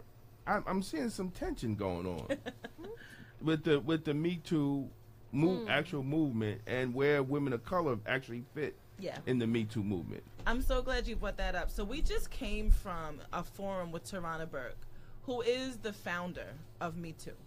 And she's been doing she um, explained that she sounds like a social worker, like when you hear her, she uses clinical terms, she uses like very familiar terms in the healing professions. Um, but she's been a social justice activist for 25 years. She can she um, self describes as a survivor of sexual assault. And um, she said, you know, when she started this movement, Me Too, there were many women of color. This was this was our um, movement, and um, sh- and the question was asked, well, how did you feel when it went viral? You know, and she said, I was terrified because you got to understand for survivors we she, she never used the term victim which i really like. Mm-hmm. For survivors of sexual assault you are putting like your deepest darkest moment out there for everyone now to have an opinion about. And she said she was terrified because now you have the world wide web okay? And people are very bold and very cruel on their computers. She said some things that people said about her that were just like horrendous. And it got to the point where she had to stop looking at the comments. And then her friends who knew her work were like, "Girl, they trying to take your thing." When when when it went viral and then Hollywood, no, and then Hollywood came and, you know, did what they're doing, right? Mm-hmm. Because I heard about it from Alyssa Milano. I had no Mm, idea. Yes, yes, yes. Right? Yes, Me me, too. too. right. That's what I'm talking Me too. I had Yeah. no idea that this was happening. And then on the internet, all of my friends, and not all of them, but a lot of my friends and a lot of my family were like, me too, me too. I was like, oh my gosh, it happened to so many women. And there's a spectrum, there's sexual harassment. She even has a program called Hey Shorty, because there's a such thing as street harassment. Women get harassed on the trains daily mm-hmm. Daily, yeah. daily. It's just we just you know sometimes have been so so silent about it because we haven't had a forum like this to say we this this crosses race, this crosses socioeconomic, this crosses unfortunately age. So many children, one out of four girls, and one out of six boys hmm. are experiencing sexual assault. And then so so so i just want to say that some people are saying that now that hollywood has it you know this is some kind of trying to put you know women of color out or wow wh- where were they when we were here?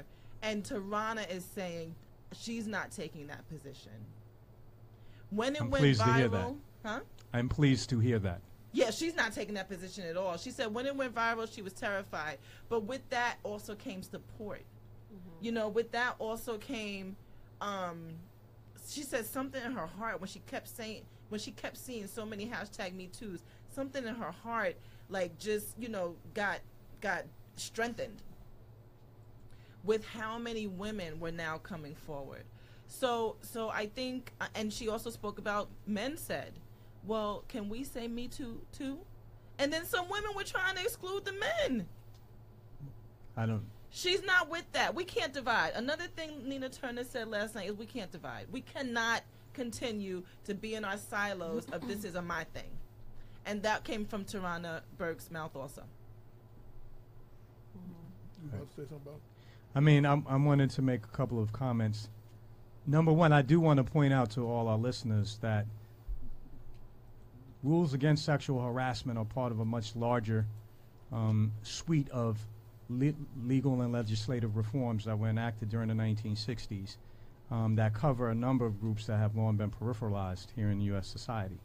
And should we not rigorously enforce rules against sexual harassment at a time when there are um, revelations that this is far more widespread, there is also the possibility that um, there'll be efforts to squelch, there's ongoing efforts that will only be strengthened to squelch other claims of, um, you know, unfair, unjust, unethical treatment. It's number one. Number two, I also want to say that we need to vigorously enforce those laws precisely because today one of the principal challenges that the nation faces is the decline of trust in our institutions.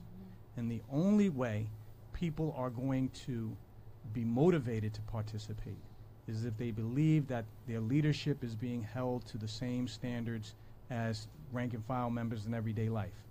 Um, you know, to give an example, oddly enough, I teach at Bronx Community College, and I can tell you that several years ago, a key figure, key male figure at the college was forced out after revelations that he had engaged in an inappropriate relationship with one of his subordinates.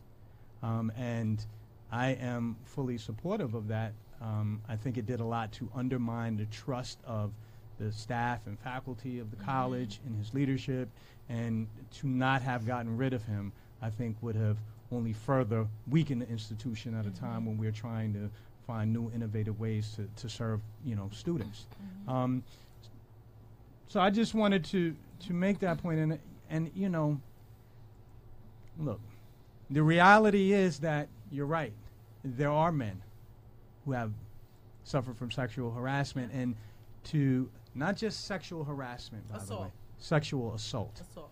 and probably men and um, you know men who have suffered.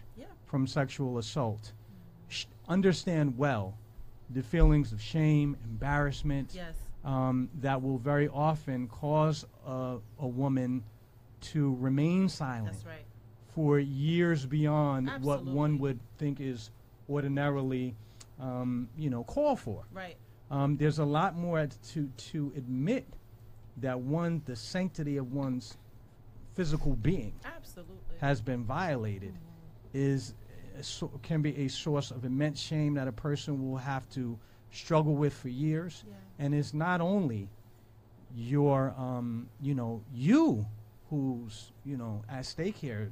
Oftentimes, family members oh my are broken yeah. up because very often it's our most intimate Yeah. um, friends. Yes, Right. Yeah. where where this is happening, and Mhm. I I want to remind men especially of this because I think too often men are quick to dismiss, and and women for that matter. I'll, I'll add, um, quick to dismiss the slow-footedness of some um, survivors of Right. sexual harassment Right. and raise the question, well, why did you wait so long? right. Right. And it may be that it took me that long to recover from the trauma and Absolutely. to even- gain or- the strength. or even to process it, right? Yes. And Yeah. you recognize it, you know, as a severe violation of your personal boundaries. Right. And I- Um, one of the things that uh, Tarana Burke was talking about today that I really liked, she focused on community healing circles and the importance of empowering survivors to get the skills that they need to process, uh, you know, these traumas, and the importance of educating other survivors so that they can replicate different healing circles in the community. Our communities, our communities needs to heal, um, and that was something that she talked extensively about today. Um, Yeah, I mean, like, um, I have so many things to say, but I'm gonna try to be succinct. Um, when you experience a violation, we live. First of all, we live in a patriarchal society and a misogynistic society, and sometimes that's internalized, right? Mhm. So when you experience a violation, there is this negotiation within yourself. Did I do something to deserve that? Sure. Did that really just happen? Am I making too much of this? Maybe it was how I how I was dressed. You know, um, and and I've had conversations like this with men. Um, in regards to if a, a woman who's in a teaching profession, say, is like dressed with a form fitted dress, a form fitting dress, is that appropriate? Should she do that? And um, my thing is like people should be able to wear what they want. But um, sometimes I get, you know, a comment, well, you know, then people are going to want to F her. And, you know, the way I look at that is we need to start teaching our boys and girls that that's not, she's not, she is not your object to violate because you are now aroused or whatever. Girls are taught keep a quarter between your legs, keep keep your legs closed. What are boys taught? That everybody's free range. Woo. If if, if, if you That's what. No, and I don't mean to make light you of know it. what I know mean? very So so they even talked about in the in the mm-hmm. institutions that are mm-hmm. public. Where's sex education? We don't even have sex ed in, in the schools anymore. No, you know, we don't. what's a good touch? Yeah, what's a bad right. touch? You know, how come we're not teaching our children how to be, you know, um, accommodating of one another's safety and and one another's right to their own personal bodies? And one of the things she was saying is that in terms of sex education, we should bring it like way back to like pre-K. I think she was saying. Little. little boys and girls like as young as five six years old because you know they can absorb these concepts at an early age and they'll grow up into being socially responsible adults that respect other people's boundaries so she was saying that like we need to you know empower them with sex education you know as early as preschool and i think that makes a lot of sense it's like learning sec- a second language a third language like I- it's always better to teach the youth at an early age and the same thing with these concepts. I went to a birthday party with my granddaughter, toddlers, like a three, two, up to three, one to three, and um, it was so funny because I saw a young father in his twenties, and his son, um, I think he was like going up, and the little girl maybe like backed up or whatever, and he made a joke, but he said, "Listen, no means no, Mm-hmm.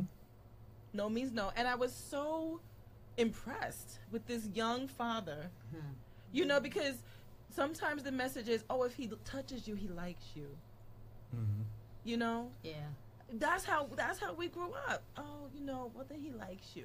He pulled your hair. Oh, he likes you. Mm-hmm. So I mean, I, I just want to summarize that you know the messaging um, started young, and everybody has the right to their own body safety, regardless of gender, and we could start having better experiences, and then men will stick up more when they see you know, hey shorty, my first experience with sexual harassment on the street was at twelve, mm. and it was a group of grown men. Grown men are nasty.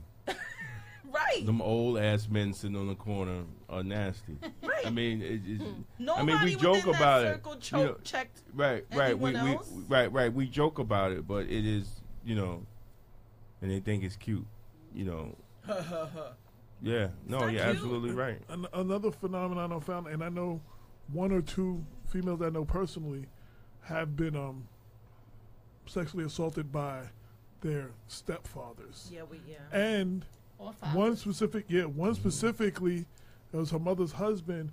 And when she told her mother, She didn't her believe. mother didn't believe her and thought that she was trying to break them up. Yes. Y- You understand what I'm saying? And it's like, I, I, as an adult, this young lady, the scars, you know, Oh yeah. that she's had has made it very hard for her to have relationships, like real relationships.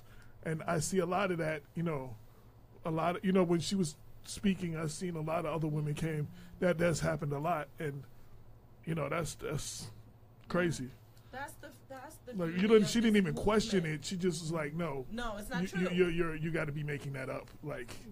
You're putting some man before your daughter. You're like, you know, regardless who he is. I mean, Yeah, I mean, to me, this movement is really about taking that power back Mm-hmm. and just saying to people, hey, this is a safe space where you can feel free to come forward when you're ready Um, and there's go- and when you're ready, there's going to be a community of people that will hear you and try to give you the support system that you need to process whatever's going on.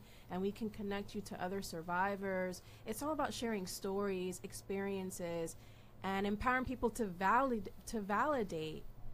Um, to, well, actually, to not let other people discredit your own lived experience and I feel like it's a really powerful moment.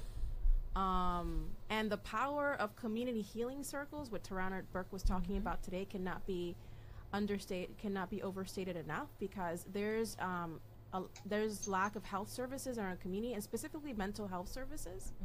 So it's really up to the community and the grassroots to step up and be like, hey, you know, we need to come together and figure this thing out. Like, come up with a healing circle um, so that you know we can empower young girls and, and young boys and men, women to have these conversations in a safe space. We were surrounded by men at that press conference. We had so much support from men. That's good. You know, and thank you to all the men that provide safe spaces for girls and women. And thank you to all the the women who provide safe safe spaces for girls and women. And thank you to everyone who provides it for boys and men. Thank you. You know, everyone's not being uh, uh um um what is it? Um an offender. Everyone's not doing it. You know, so we so I just um th- today was so healing in a way because it, it's hard. And one thing she did do, which I commend, she had mental health trauma therapists in the room mm-hmm. because mm-hmm. people were telling some, Really? you know, mm-hmm. real. I mean, it was real in there, you know.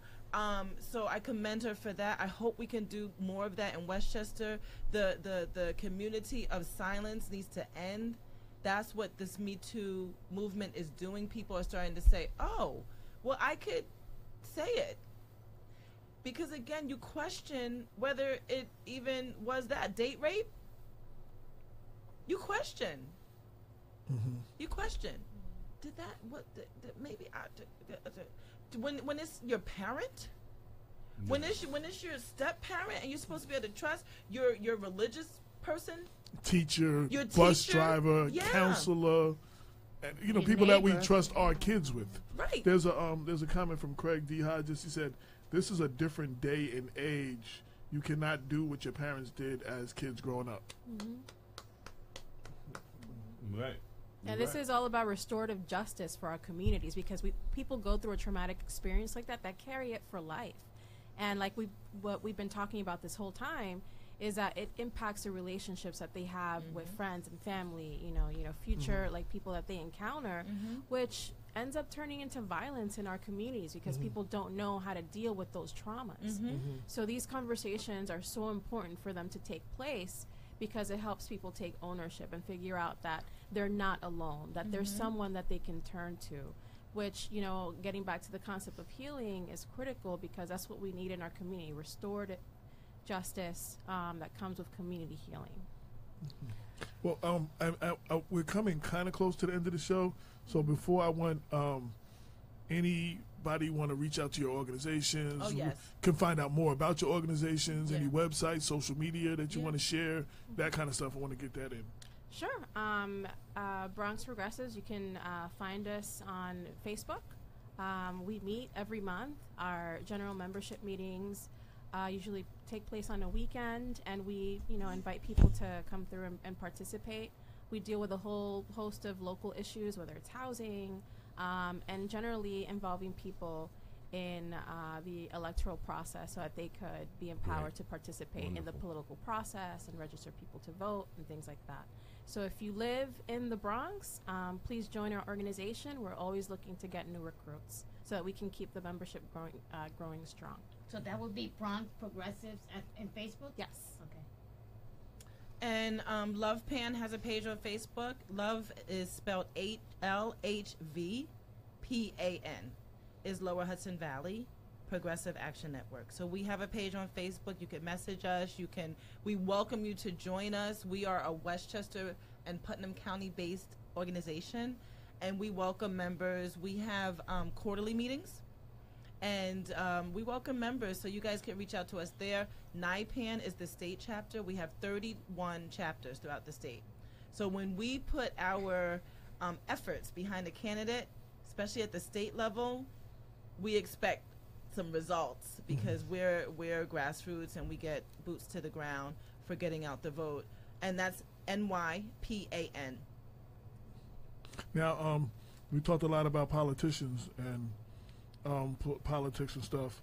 There's um, you're also involved with the Westchester Black Political Conference. So excited, yes. Um, um, speak about that a little bit. What that is and what the Yes, Wha- so I'm so excited to be um, one of the founding members of this first ever um, Westchester Black Political Convention. And our role, along with Damon and Kenneth and Dr. Bob, we are looking to empower our community of color in the Westchester County um, because candidates run for office and they need money to be able to do that. Yeah. And far too often, communities of color can get out the vote, but we don't have the same financial contributions that other communities have. So we deliver votes, but but the candidate is not always coming back to our communities to do actual reform. So this convention is in place to do a few things. To educate communities about what's going on, to advocate for community members, and to endorse candidates and to hopefully run some candidates and, and you know get some people from the community who don't know how to do this thing and teach them how to do it mm-hmm. with our backing because we know that they have the same interest in community development that we do. So our thing is community development, education reform, criminal justice reform. Oh my gosh. Criminal justice reform and education reform, if we don't get this thing together, we have got to have major reform. Major reform. Um, and, and, you know, we just want a better Westchester for more Westchester residents. Westchester is pretty well segregated by um, uh, location and also segregated by, by income. Mm-hmm. I, I- I wanted to, I wanted to go backwards a little bit. We were talking about um, men ogling women and Oh, about yeah. how they're dressed and stuff. As a father of a daughter and two stepdaughters, um, I think it's as parents, it's also regardless of what's right and wrong and fair and how things look, we also must be honest with our daughters. Like I remember my mother had a first. My mother had a conversation with my sister. She was like, you know, my sister might want to wear something that's a little shorter, Yeah. stuff like, and she said, you can wear that, but if you do, you have to be ready for some of the attention mm-hmm. that may, whether it's right or wrong, that you may get, Right, and you need to be aware of that when you put that on. right. You know, you understand what I'm saying? Yeah. And I understand it's not fair, and women should be able to wear what they want to wear. But we do understand in the real world, there's a lot of sick people out there. You, Yeah. you understand what I'm saying? And we Yeah. need and we need to be real with them on that level as well. Not make them feel guilty or anything, but I'm No, just no, saying. no, I understand but what you're be saying. and and I think that's important. And uh, again, as a father of a daughter and two stepdaughters, you know what I'm saying? Like you know, I I- agree I with agree- you. I agree with you. And I just want to add to it. Mm-hmm. If we do that, we need to teach our sons. abs- absolutely. we also need to teach our sons Respect. That's what I was that gonna say too. Yeah. yeah, it has to be Good. equal because you know because we're in a patriarchal mm-hmm. patriarchal patriarchal environment. You, we are putting the responsibility for safety on the women only. No, and I I agree. I agree with the. se- I, I specifically have a daughter and two stepdaughters. And I, I you have a understand? daughter. But my but my mother also told me about certain things that I, you know what I'm saying about how to handle certain things and how I need to be conducting myself certain ways. Um, Can- we had a couple of comments? Nadine Robinson said, "Keep it real." AJ Clive D. Hodges said, "Also, the black community as it's looked upon that if you don't talk, oh, that you don't Oh, talk about your so personal true. problems, Absolutely. and that must change." is so And then he said, "Criminal justice slash start with Rockefeller laws." That's what he. which are eliminated. Yeah. Um, but we, we are looking for some money to come back into the community Mm-hmm. because of the effect that devastated communities of color. Um, but but if I could just Mm-hmm. go back to that point, um, yes, our mothers and grandmothers taught us a lot of things. Mhm. They did, and it was to keep us safe. And and I, I am not disagreeing, because I believe in modesty, right? But I am not going to criminalize a no, woman not at all. Yeah. a woman who doesn't by putting her safety completely on her. It is it is my hope that we can evolve as a community and put safety expectation on everyone Right. because because what what we run the risk of doing is making it her fault Right. If this happens and we need to get away from that we need to say it is the fault of the offender Oh, absolutely. You can't go back and tell her, I told you so. Right. The, the, well, another thing, and also um, as far as safety, one of the things that I often told my daughter, my mother told my sister, you know, you, you keep a twenty dollar in your in your wallet somewhere. You know what I'm saying? This way, you always have a way home. You, you know what I'm saying? Like you don't, no matter what the situation is, you can always find a way home without having to depend on somebody for a ride, which is what sometimes puts our our, our youth in trouble, regardless. You know what I'm saying? Not having having to depend on someone else, and that's I- man I or wanted- female. I wanted to I want- I'm- No, I want, Oh. I want, I want to let you talk, but I want to get that. Oh. in. I just want to say I consider myself to be a paragon of virtue. I think I'm an exceptionally virtuous man. I think that to be a good person is very important for me, and I it's something I recommend for all of the men. Honesty is part of that, and I have to admit that I've never, ever took license with a woman, but I surely have looked at a woman. I think that is natural. Oh, that's natural. That's That- natural. I mean, we and and the question natural. becomes, what as a man, what do you do with those desires? right. Absolutely. And Right. what is the It's how you appropriate condition Yeah, of, of course. un- to to express that to a woman? And I don't think, you know, just me personally, I've always in my conversation with my male friends, I always told them I feel uncomfortable if I see a strange woman and she's attractive.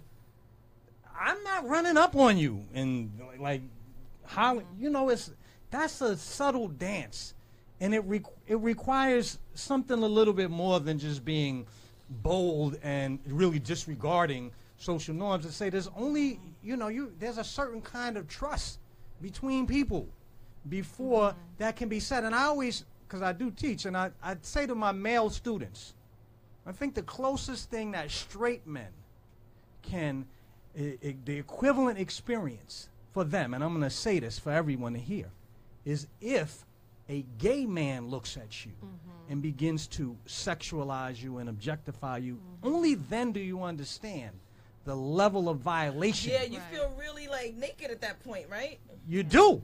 And I want to remind never- I can't. Well, Never happened. You feel but, I, but I do understand. I, but it never happened to me, but I do. no, I'm not even saying it happened to me, I but even it. when I we do get it. I- I I get it. I when we get it. walk around, we know, I- guys, I we get may the point. suspect. Rather, I I get the say. point. we go through that pretty much on a regular But I, I wanted to add, I wanted to add also that this movement is also to empower men like yourselves who have daughters, right? So that you can put peer pressure on other men in your community to say, hey, because it shouldn't, it, the only shouldn't be on the woman, like what Tasha's saying. Like we need to empower men in our communities to stand up And and, speak out. But and, that's and what. But see, that's my stand up point. and speak out That's my point. Against people violating other people's boundaries. So it's like, hey, you know, like what you did, yeah, you're my friend, you're my buddy, but I saw how you approached that young lady or that woman or, or that boy, and it wasn't the right thing to do. And just say, hey, you know, this is how maybe you should approach it. Maybe like how you should rethink um, Absolutely. coming like if you're in a future situation like that and like it's really men calling out other men for their behavior No, and well, putting it's in a really- system of peer Last pressure and special- bullying. It's That's really nice word, men too. being men. Absolutely. See, see, see, what's what's what's what's missing is the understanding um, that men, if men are acting men, and, and I say this, I say this on Instagram, and, and you know, I, I put little sayings out that you know we need. I, where are the real black men to stand up for the community? See, because because people will act a certain way when they know that the community of men have rules and reg- regulations on how you're going to act. You're not going to Right. disrespect mm-hmm. our woman on the corner. Mm-hmm. You're not going to dis- You're not going to do things to our children mm-hmm. there there is a code of conduct that Mm-hmm. you should act as being a grown ass man. Right. But but there but see but men are not like you said we're not calling out men and we're not even showing them examples because you got a lot of grown ass men that want to be kids. Right. They're just tall boys. Boys over yeah, the age yeah, of 21. reflected in our culture and And you. Right, don't get to absolutely, treat the woman absolutely. who is the, you know, from her neck to her her her ankles covered different from the woman who has a miniskirt. You don't get to do that. Absolutely. And with that, we come to the close of the show. Yeah. Um, we thank everybody for listening. It's a topic that can be discussed a lot longer. Um, look out for the new issue, the Black History issue. Um, you could be doing anything else right now, but you decide to ride with us, and we greatly appreciate it. This has been Black Westchester Presents the People Before Politics radio show every Sunday, 6 to 8 on InTheMixRadio.com. Until next week, um, we'll have Senator, um, I mean, um, Shelley Mayer on. Assembly, Assemblywoman Shelley- Shelley Mayer on. candidate for Senate. Uh, yes. A, uh, peace. 22 million black victims of Americanism are waking up, and they're gaining a new political consciousness, becoming politically mature. And as they become, uh, develop this political maturity, they're able to see the recent trends in these uh, political elections. That any minority that has a block of votes that stick together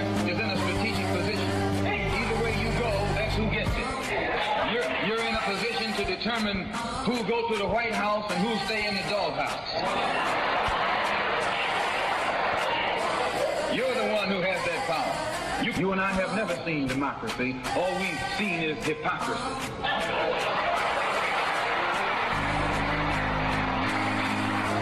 When we open our eyes today and look around America, we see America not through the eyes of someone who has who has enjoyed the fruits of Americanism. We see America through the eyes of someone who has been the victim of Americanism. We don't see any American dream. We've experienced only the American nightmare. We haven't benefited from America's democracy. We've only suffered from America's hypocrisy. And the generation that's coming up now can see it and are not afraid to say it. And are not afraid to say. And are not afraid to say. And are not afraid to say. And are not afraid to say. And are not afraid to say. And are not afraid to say. And are not afraid to say. And are not afraid to say. And.